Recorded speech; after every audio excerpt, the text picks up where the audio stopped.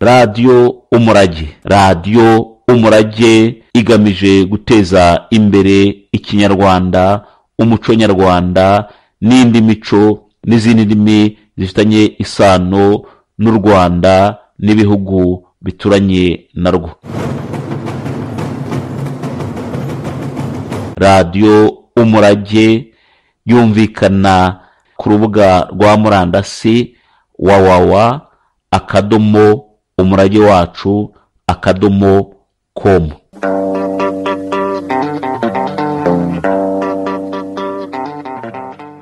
bumva radiyo umurage twabashuhuje mugire amahoro y'imana.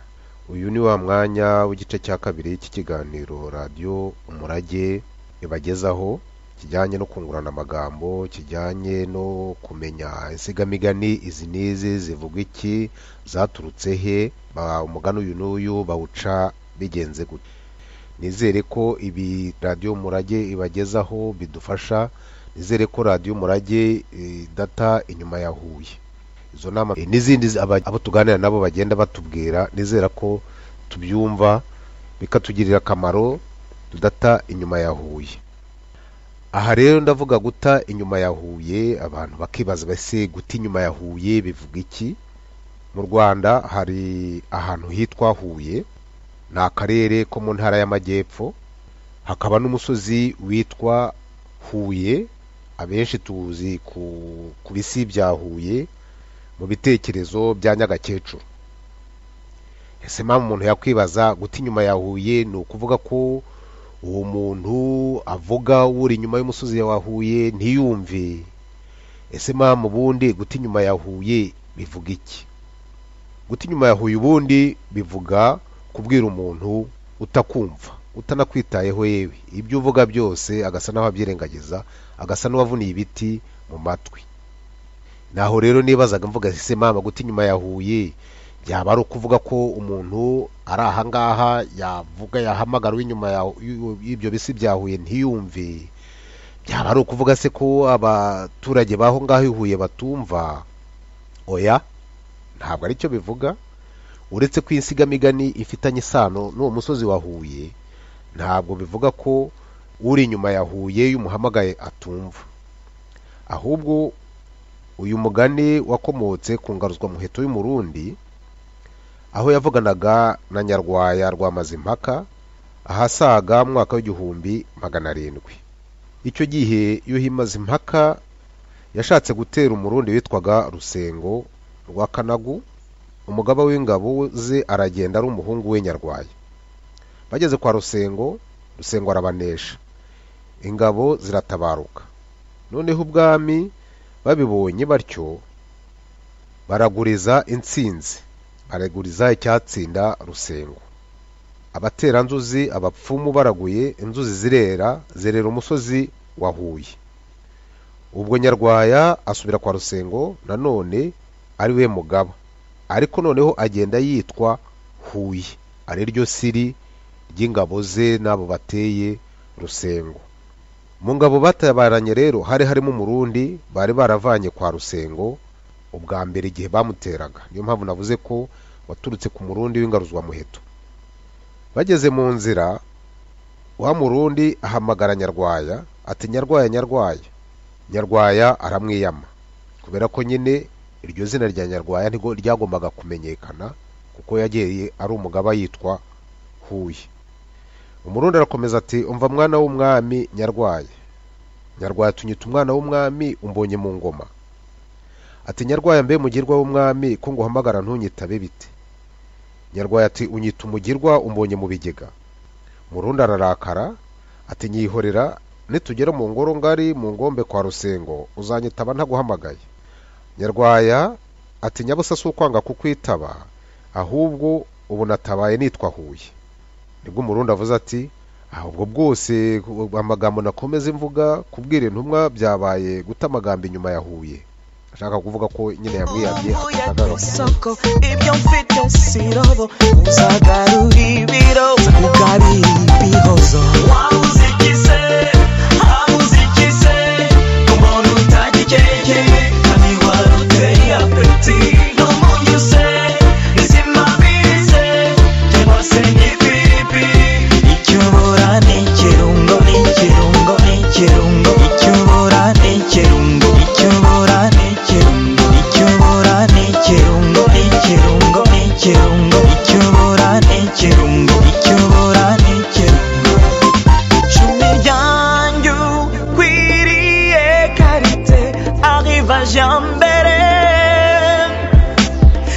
nzakurinda agatarakatse nkubita gahanga hasi.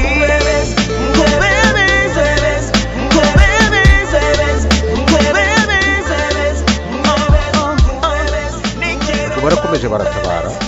Bageze kwa rusengo basanga yagiye kurarira ikuzi kwa mutaga umurundi atangira gutata kuko yari ahamenyereye aza kumenya ko rusengo ari buze. Umurundi abwira nyarwaya ati rusengo yaje. Ubwo nyarwaya yambara imyambaro y'ubugabe ajya imbere y'ingabo yitwaje intorezo batera rusengo. Batungutseyo rusengo akubise amaso nyarwaya aba aramumenye agira ubwoba aramubaza ati mbe mwana w'umwami nyarwaya? Nyarwaya ati winyita umwana w'umwami ntumbonye mu ngoma. Rusengo ati mbe mugirwa w'umwa- w'umwami. Nyarwaya ati unyita mugirwa w'umwami ubonye mu bigega. Rusengo ati izina ngo uhamagaye ryose ko uryanga ubundi witwa ndi? Nyarwaya ati nabishe nahindutse nitwa huye. Rusengo ati urahinduka ngo ubigenze ute? Uko mbigenza urabibona. Ati nje ndihuye karuretwa imanzi y'uburanga. Nyamunyagamagana amapfizi agapfana umurindo. Naje ndi umugabo rwa kigenda mugabo ugenda ishyamba mugabo uva mu rugina mu magara y'undi mugabo naje wanjwa y'ubusa ntabwo ngo usiga naje. Rusengo yumvise ayo magambo ya nyarwaya. Biramurakaza arihandagaza ati ndi kibibi kibunga. Ndi kigera cya bizoza. Ndi kirashi nyamu- nyamukanura. Naragerageje mva i burundi ngeze i bunyabungo. Ngira umukara we nte- ntege y'imana utihonda uburenzi nk'inyarwanda. Ngira sine riba mu misange y'epfo. Iyo inka zipfa ntizipfa ubusa zikagurwa ibisanga byuje inda y'abarenzi. Ibirapfarapfa bikagurwa imisagavu n'imigombora. Akabyosa ntoki zitobe nkanzi umukobwa wa ntawe umwanga ati ngira na nyiri imiringa irindwi. Umukobwa wa nyamurinda waje ku mpeshyi no ku ruhira. Ukambaza ari mu rutembabarenzi ati ngira n'urusaro rwa nzikwesa ruresaresa umusore mu miseke rukamusanga mu isezeraniro rukamusoka isonga y'ururimi nyir'uburundi ati saba ubwo bahera ubwo barasakirana bararwana. Rusenga akubita nyarwaya inshuro amusumiye agiye kumusubirana ikuzi kwa mutaga wa murundi agoboka nyarwaya afata rusengo amaguru. Nyarwaya aramubyukana amukubita intorezo amuca igihanga. Wa murundi abwira nyarwaya ati sinakubwiye ko nitugera mu ngoro ngo ari mu ngombe kwa rusengo uzanyitaba ntaguhamagaye nuko nyarwaya amaze kwica rusengo banyaga umukara we yantegeye imana anyagasine riba mu misange y'epfo iyo inka zipfa ntizipfa ubusa zikagurwa ibisanga byuje inda y'abarenzi ibirapfarapfa bikagurwa imisagavu n'imigombora kabyosa ntoki zitoba inkwanzi umukobwa wa ntawumwanga anyaga urusaro rwa nzikwesa ruresaresa umusore mu museke rwamugeza mu isezerano rukamusoka isonga y'ururimi nyir'uburundi ati saba anyaga nyir'imiringa irindwi umukobwa wa nyamurinda waje mu mpeshyi no ku ruhira akabanza ari umutembabarenzi anyaga n'ibindi n'ibindi baratabaruka. Bageze kwa mazimpaka bamurika iminyago n'igihanga cya rusengo. Ariko nyarwaya ntiyamurikira se za nka n'abagore yanyaze. Aragororerwa kuko yagize ubugabo akica rusengo. Amaze kugororerwa abarezi baca inyuma bamurega kuri se ko hari ibyiza yakuye i kwa rusengo atamweretse. Maze impaka tumiza nyarwaya ahageze baramufata baramuboha. Wa murundi wamutabaruye amusanga ku ngoyi yambara ubusa aza asaba amazimpaka amata. Undi arayamuha arayamuhamagariza. Mazimpaka ahamagariza uwo murundi amata. Umugabo amaze kuyanywa atereka ninywera amata umwana w'umwami anera ingoyi ngo arazira imbwakazi z'abapfakazi bo kwa rusengo. Mazimpaka yumvise ayo magambo arababara ati ubonye ngo niboherere umwana ubusa kandi yarangiriye akamaro. Amaca ku ngoyi abayimushyizeho bamurega aba ari bo ayishyiraho. Nyarwaya amaze kuva ku ngoyi yibuka akamaro wa murundi ahora amugirira yibuka ko yamukuye mu iriba abashi bagiye kumwica yibuka ko yamutangiriye ikuzi rusengo agiye kumujyana kwa mutaga yibuka iyo ngoyi amukuyeho ahera ko amugororera amuha inka n'ingabo. Amaze kumugororera ba barezi basubira kwa mazimpaka barega wa murundi ngo ni umurozi wa nyarwaya. Umurundi arafatwa arabohwa. Bamaze kumuboha nyarwaya arashengerera asanga aboheye mu nkike amurebye ati wa murundi koko arareba nk'umurozi? Umurundi aramusubiza ati koko abanyarwanda muri ntibisasirwa. Nakurengeye bakuroshye mu iriba mbonye ureba nk'umwana w'umwami nkuvanamo ndakuzana. Nkurengera rusengo agiye kukujyana kwa mutaga kurarira ubutazagaruka. Nkurengera so amaze kukubohera mahamihami. Umaze kunshima urangororera.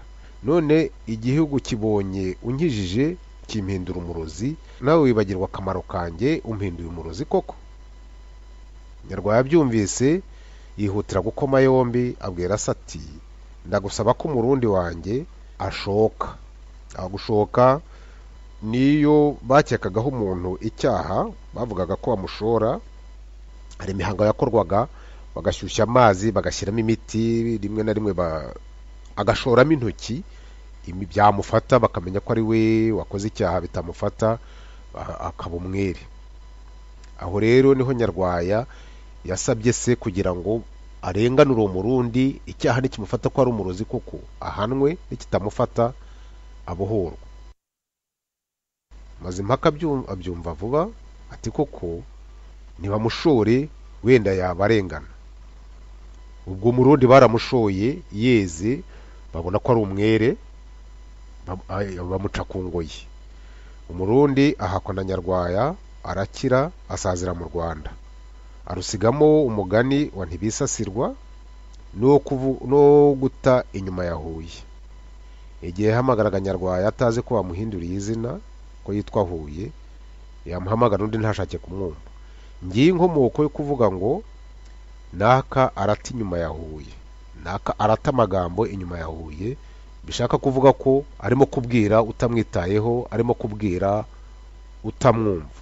Naho uwo mugani waturutse rero kuri uwo murundi uhamagaraga nyarwaya atazi ko bamuhinduriye izina yagiye ari umugaba yitwa huye yashaka kugira icyo amubwira nyarwaya ntamwumve.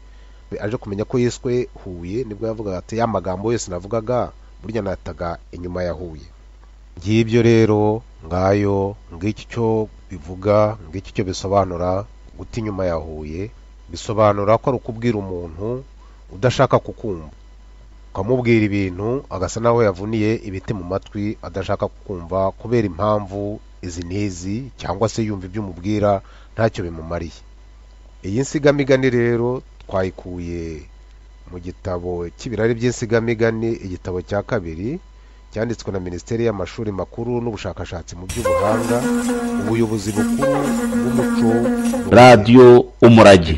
Radiyo umurage igamije guteza imbere ikinyarwanda umuco nyarwanda n'indi mico n'izindi ndimi zifitanye isano n'u rwanda n'ibihugu bituranye na rwo radiyo umurage yumvikana ku rubuga rwa murandasi wawawa akadomo umurage wacu akadomo komu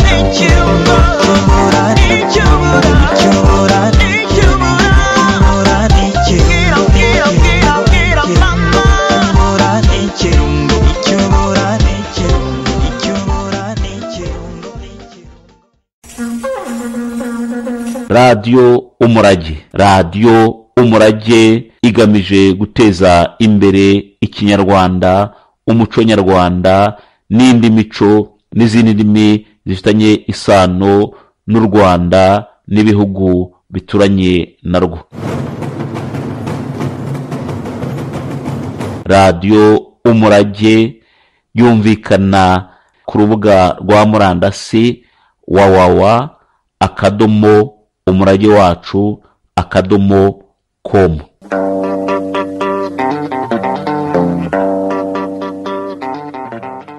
abumva radiyo umurage twabashuhuje mugire amahoro y'imana. Uyu ni wa mwanya w'igice cya kabiri cy'ikiganiro radiyo umurage ibagezaho. Kijyanye no kungurana amagambo kijyanye no kumenya insigamigani izi n'izi zivuga iki zaturutse he umugani uyu n'uyu bawuca bigenze gute? Nizere ko ibi radiyo umurage ibagezaho bidufasha nizere ko radiyo umurage idata inyuma ya huye. Izo nama eh, n'izindi abo tuganira nabo bagenda batubwira nizera ko tubyumva bikatugirira akamaro tudata inyuma ya huye. Aha rero ndavuga guta inyuma ya huye abantu bakibaza base guta inyuma ya huye bivuga iki? Mu rwanda hari ahantu hitwa huye ni akarere ko mu ntara y'amajyepfo hakaba n'umusozi witwa huye. Abenshi tuzi ku, bisi bya huye mu bitekerezo bya nyagakecuru. Ese mpamvu umuntu yakwibaza guta inyuma ya huye ni ukuvuga ko uwo muntu avuga uri inyuma y'umusozi wa huye ntiyumve. Ese mpamvu ubundi guta inyuma ya huye bivuga iki? Guta inyuma ya huye ubundi bivuga kubwira umuntu utakumva utanakwitayeho yewe. Ibyo uvuga byose agasa n'aho abyirengagiza agasa n'uwavuniye ibiti mu matwi. Naho rero nibazaga mvuga ese mama guta inyuma ya huye byaba ari ukuvuga ko umuntu ari ahangaha yavuga yahamagara uw'inyuma y'ibyo bisi bya huye ntiyumve. Byaba ari ukuvuga se ko abaturage b'aho ngaho i huye batumva? Oya ntabwo ari cyo bivuga. Uretse ko insigamigani ifitanye isano n'uwo musozi wa huye ntabwo bivuga ko uri inyuma ya huye y'umuhamagaye atumva.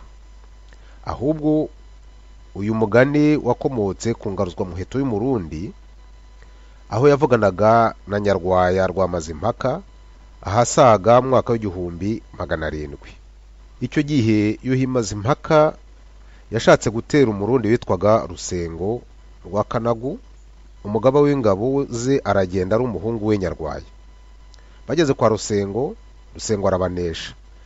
Ingabo ziratabaruka. Noneho ubwami babibonye batyo baraguriza intsinzi. Baraguriza icyatsinda rusengo.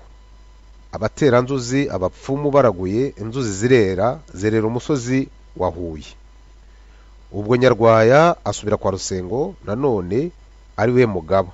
Ariko noneho agenda yitwa huye. Ari ryo siri ry'ingabo ze n'abo bateye rusengo. Mu ngabo batabaranye rero hari harimo umurundi bari baravanye kwa rusengo ubwa mbere igihe bamuteraga. Niyo mpamvu navuze ko waturutse ku murundi w'ingaruzwa muheto. Bageze mu nzira wa murundi ahamagara nyarwaya ati nyarwaya nyarwaya. Nyarwaya aramwiyama. Kubera ko nyine iryo zina rya nyarwaya ntigo ryagombaga kumenyekana kuko yagiye ari umugaba yitwa huye. Umurundi arakomeza ati umva mwana w'umwami nyarwaya. Nyarwaya tunyita umwana w'umwami umbonye mu ngoma. Ati nyarwaya mbe mugirwa w'umwami ko nguhamagara ntunyitabe bite? Nyarwaya ati unyita umugirwa umbonye mu bigega. Murundi ararakara ati nyihorera nitugera mu ngoro ngari mu ngombe kwa rusengo uzanyitaba ntaguhamagaye. Nyarwaya ati nyabusa si ukwanga kukwitaba ahubwo ubu natabaye nitwa huye. Nibwo umurundi avuze ati ahubwo bwose amagambo nakomeze mvuga kubwira intumwa byabaye guta amagambo inyuma ya huye. Ashaka kuvuga ko nyine yamwiyamye atashakaga isoko ibyo mfite sirobo uzagarura ibiro ugarira ibihozo wabuze ikise ikise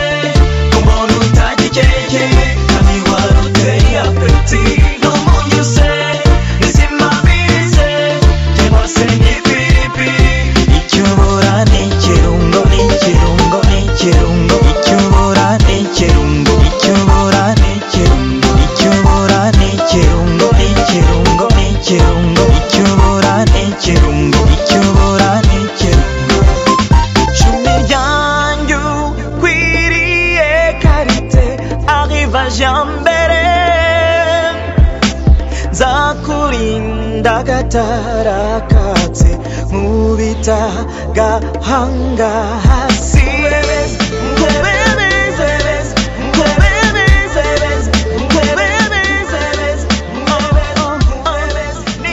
barakomeje baratabara bageze kwa rusengo basanga yagiye kurarira ikuzi kwa mutaga umurundi atangira gutata kuko yari ahamenyereye aza kumenya ko rusengo ari buze. Umurundi abwira nyarwaya ati rusengo yaje. Ubwo nyarwaya yambara imyambaro y'ubugabe ajya imbere y'ingabo yitwaje intorezo batera rusengo. Batungutseyo rusengo akubise amaso nyarwaya aba aramumenye agira ubwoba aramubaza ati mbe mwana w'umwami nyarwaya. Nyarwaya ati winyita umwana w'umwami ntumbonye mu ngoma. Rusengo ati mbe mugirwa w'umwa- w'umwami. Nyarwaya ati unyita mugirwa w'umwami ubonye mu bigega. Rusengo ati izina ngo uhamagaye ryose kuryanga ubundi witwa ndi. Nyarwaya ati nabishe nahindutse nitwa huye. Rusengo ati urahinduka ngo ubigenze ute? Uko mbigenza urabibona. Ati nje ndihuye karuretwa imanzi y'uburanga. Nyamunyaga magana amapfizi agapfana umurindo. Naje ndi umugabo rwa kigenda mugabo ugenda ishyamba mugabo uva mu rugina mu magara y'undi mugabo naje wanjwa y'ubusa ntabwo ngo usiga naje. Rusengo yumvise ayo magambo ya nyarwaya biramurakaza arihandagaza ati ndi kibibi kibunga. Ndi kigera cya bizoza. Ndi kirashi nyamu- nyamukanura. Naragerageje mva i burundi ngeze i bunyabungo. Ngira umukara wente ntege y'imana utihonda uburenzi nk'inyarwanda. Ngira sine riba mu misange y'epfo. Iyo inka zipfa ntizipfa ubusa zikagurwa ibisanga byuje inda y'abarenzi. Ibirapfarapfa bikagurwa imisagavu n'imigombora. Akabyosa ntoki zitobe nkanzi umukobwa wa ntawe umwanga ati ngira na nyiri imiringa irindwi. Umukobwa wa nyamurinda waje ku mpeshyi no ku ruhira. Ukambaza ari mu rutembabarenzi ati ngira n'urusaro rwanze kwesa ruresaresa umusore mu miseke rukamusanga mu isezeraniro rukamusoka isonga y'ururimi nyir'uburundi ati saba ubwo bahera ubwo barasakirana bararwana. Rusenga akubita nyarwaya inshuro amusumiye agiye kumusubirana ikuzi kwa mutaga wa murundi agoboka nyarwaya afata rusengo amaguru. Nyarwaya aramubyukana amukubita intorezo amuca igihanga. Wa murundi abwira nyarwaya ati sinakubwiye ko nitugera mu ngoro ngo ari mu ngombe kwa rusengo uzanyitaba ntaguhamagaye?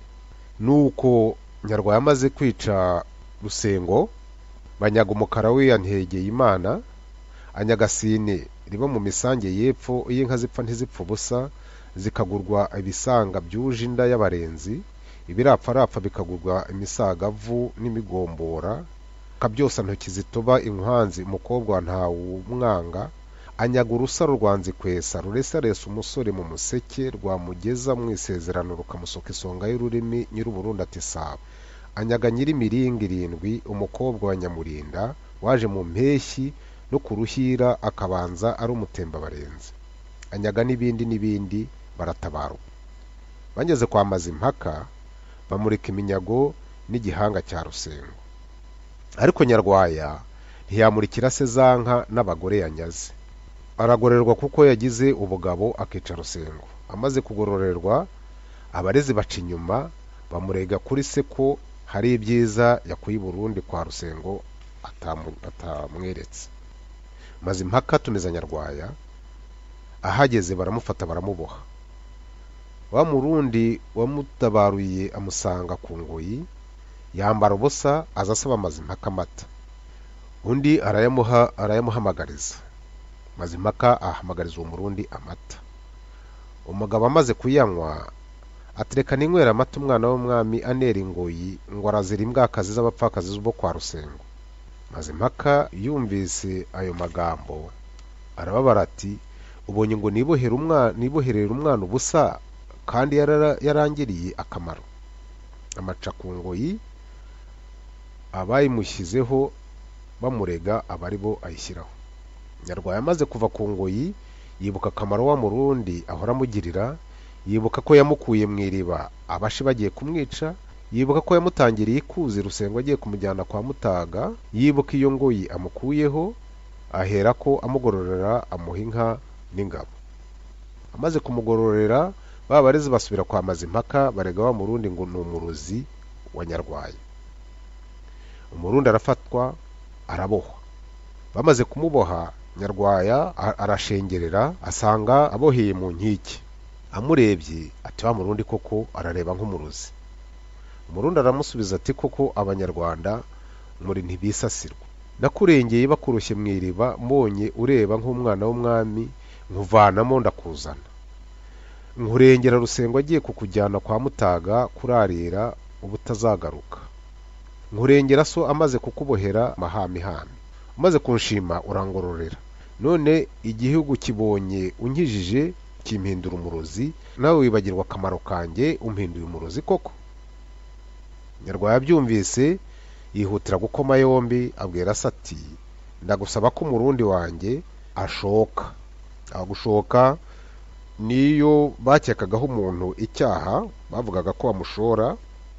Hari imihango yakorwaga bagashyushya amazi bagashyiramo imiti rimwe na rimwe agashoramo intoki byamufata bakamenya ko ari we wakoze icyaha bitamufata akaba umwere.